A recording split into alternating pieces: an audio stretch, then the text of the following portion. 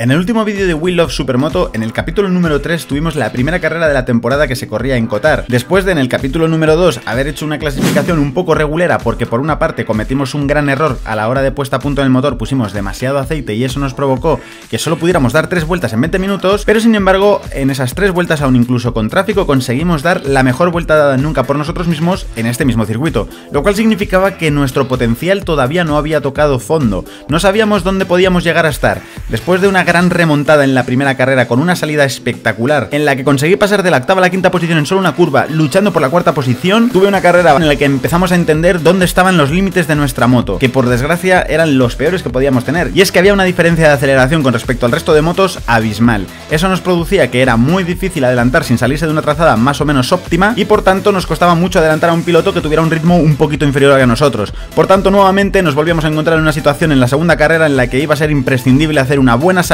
para no tener gente delante con un ritmo inferior al cual no pudiéramos conseguir llegar a superar. Así es como llegábamos a la carrera número 2, a la salida.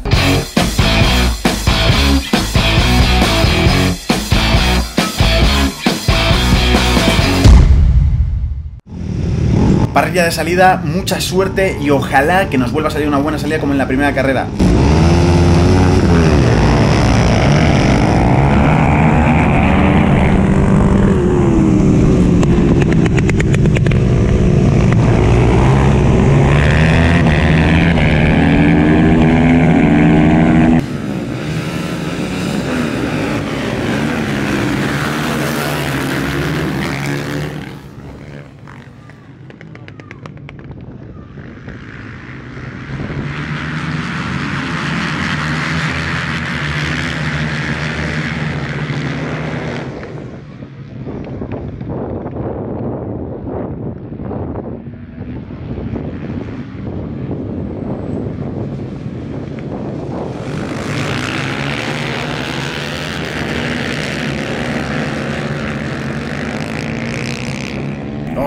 Qué mal, se me ha olvidado dar ese 15% más de gas que di en la primera carrera, ¿os acordáis que os dije? Pues eso es lo que me ha faltado aquí. No he perdido ninguna posición, pero tampoco he ganado. Ya nos va a tocar luchar solo para conseguir igualar lo que hemos tenido antes. Sabemos que nos costará pasar incluso, aunque sabemos que estos pilotos tienen un ritmo muy inferior al que hemos demostrado en la primera carrera, pero nos va a costar aún así pasarles por la poca aceleración que tiene nuestra moto, como estáis viendo ya en estas propias rectas.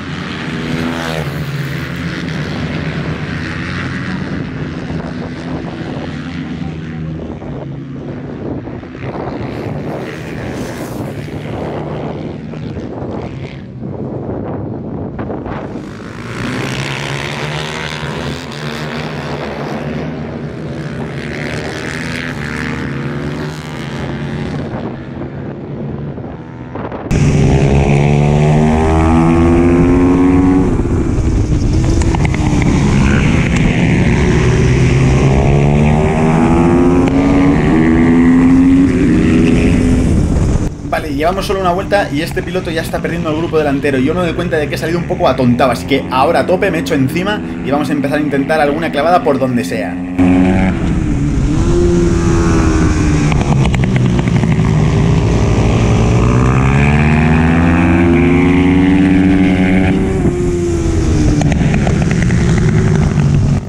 otra vez me está pasando como en la primera carrera, soy mucho más rápido en las frenadas y en las curvas, pero no encuentro el punto para pasar por la poca aceleración de mi moto.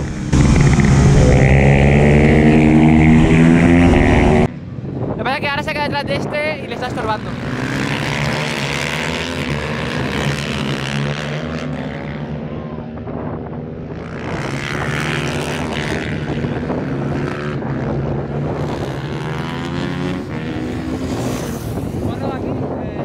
¿Eh? No quiero desesperarme en esta carrera, pero sí es verdad que no quiero que me pase como en la otra, que he tardado demasiado tiempo en reaccionar y en empezar a probar cosas nuevas, así que desde el primer momento vamos a empezar a probar. Ahora se abre y estoy a punto de aprovechar la oportunidad, pero no estoy encontrando todavía el sitio. Vamos a intentar no desesperarnos, pero hay que ir ya a tope a atacar desde el primer momento. ¡Dios! ¡Qué susto me he llevado! He tocado con la parte de la rueda delantera el piano interior de esa curva que no hay que tocarlo y casi me voy al suelo porque casi pierdo la delantera. Menos mal que no ha pasado nada y encima no hemos perdido tiempo, así que seguimos, nos olvidamos de lo que acaba de pasar y gas a por todas otra vez.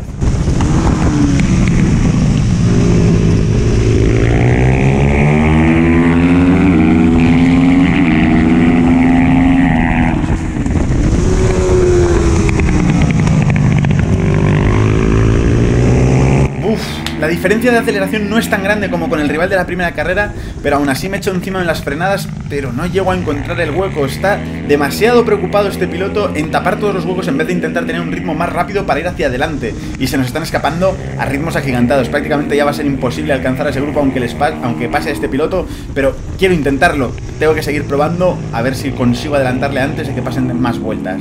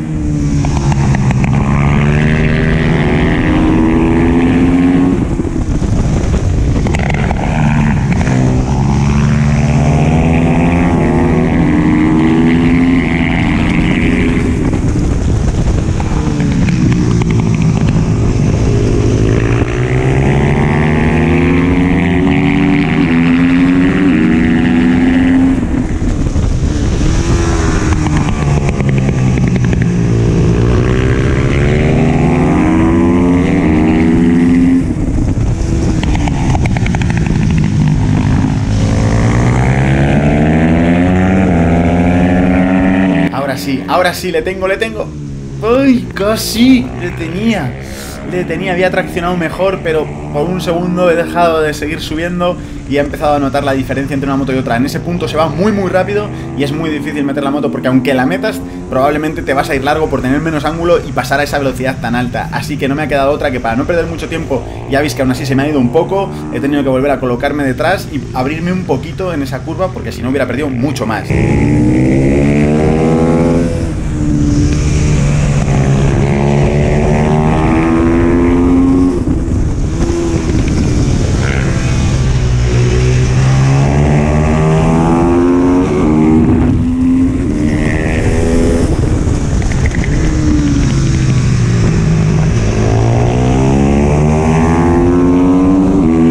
Nos quiere ir, pero de eso nada, vamos a empezar a apretar los dientes. Como estáis viendo, todas las vueltas las estamos dando muchísimo más lentas que las de la primera carrera, pero es que no puedo hacer nada. En una sola frenada soy capaz de volver a estar ahí, pero claro, ya no puedo seguir haciendo mi paso por curva y por tanto pierdo toda mi velocidad.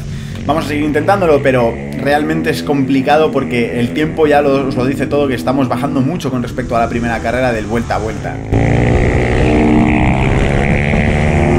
Y aquí tengo una mala noticia, chicos, y es que se me acabó la batería de la GoPro que llevaba en el casco. Por desgracia, esta es de las pequeñitas, aunque me encanta, y es mucho mejor para el casco y en circuito, no tiene batería de repuesto, así que no la cargamos otra vez entre medias.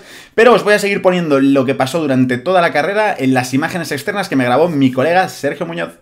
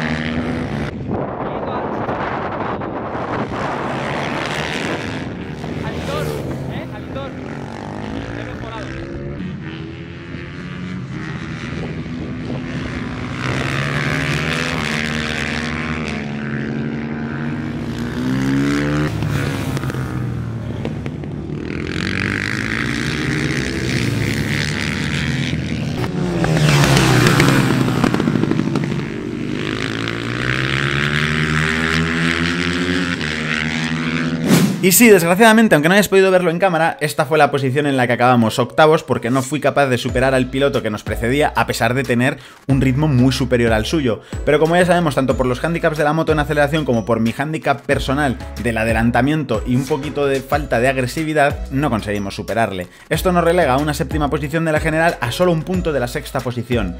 Hemos mejorado bastante en agresividad de la primera a la segunda carrera, ya que bastantes intentos he hecho, aunque no los hayáis visto en cámara, e incluso llegué a tocarme con este en varios intentos. Finalmente no pudimos conseguirlo, pero en la próxima carrera daremos más caña. Cuando lo pienso fríamente, si cinco días antes de la carrera me dijeran que iba a conseguir estos resultados, no me los habría creído de ningún modo, ya que la cosa pintaba mucho peor. De hecho, estaba a punto de no ir a la carrera y finalmente me decidí gracias a gente como mi amigo Sergio Muñoz, al cual le debo mucho por haber venido, haberse tomado su tiempo para ayudarme, mucha paciencia para echarme un cable a mejorar, unos consejos muy valiosos y por supuesto todo su cariño, que en un momento complicado para él, que se ha roto la rodilla, no es nada fácil. Así que solo puedo decir muchas gracias Sergio y por supuesto os dejo el link de su canal en la descripción de este vídeo porque dentro de poco tendréis su vídeo en su canal de cómo fueron todas las carreras y todo el fin de semana entero en un blog súper interesante que creo que subirá este mismo domingo así que no os lo perdáis. Por supuesto también tengo que agradecer a mi jefe de mecánicos sin mecánicos, mi amigo Pete, que me ayudó muchísimo especialmente a abrir un tapón de gasolina durísimo, demostró ser un auténtico Conan, así que fuera bromas, muchísimas gracias por todo vuestro apoyo, por haber hecho un equipo improvisado cojonudo e inmejorable y por supuesto gracias a todos mis amigos que os acercasteis a echarme un cable, a darme vuestro cariño y vuestro apoyo y a muchos de vosotros que también os pasasteis por ahí, os agradezco muchísimo vuestro apoyo, vuestro saludo y por supuesto todos vuestros comentarios en esta serie que me los leo todos, ya lo sabéis, os contesto a todos porque me encanta vuestro apoyo y que sepáis que me da muchísima energía para seguir con esta serie que me está encantando hacer y que me está encantando como vosotros estoy recibiendo. No os penséis que hasta la próxima carrera no habrá vídeos porque tengo mucho material para sacar de este fin de semana espectacular y nuevos entrenamientos que ya estamos haciendo, poniendo a punto la moto para volver a solucionar los problemas que tuvimos durante esta carrera tanto en aceleración como en otras cosas. Así que no os perdáis nada de estar muy atentos al canal, suscribiros si queréis ver todo lo que se viene porque no es poco. Por cierto, mi próxima carrera será el 14 de abril en Carpetania, Segovia, pero para que no se te olvide y que te confirme cuándo voy a ir y si al final no voy a ir, te dejo mi Instagram en la descripción de este vídeo que soy IronFran89, que es donde lo diré finalmente. Así que nada, brothers, nos vemos en el próximo vídeo dando más caña. Un abrazo.